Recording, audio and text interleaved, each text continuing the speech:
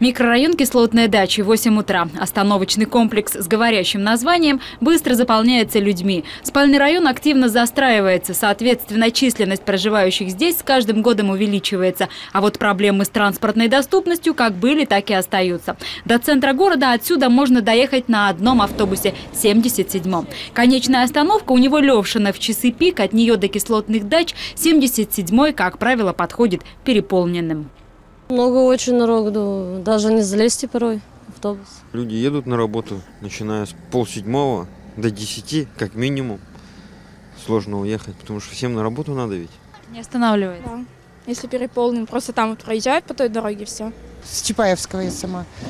Иногда автобус на третий только сможешь сесть. К работе 77-го маршрута претензий нет. Транспорт исправно, как часы. Соответственно, расписанию электронного табло подходит к остановке. Но ситуацию это не спасает, особенно в часы пик. Ну, я не знаю, как бы часы пика не всегда полные. Тут есть автобусы, как бы вывозят как бы кислотные дачи.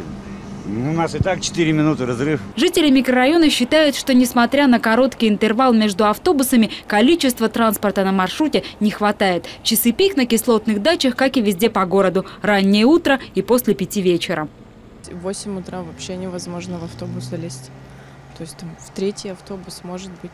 В девятом часу лучше не ездить. Где-то в 9, наверное. Или в десятом часу. Вот сейчас в данный момент очень много народу ездит.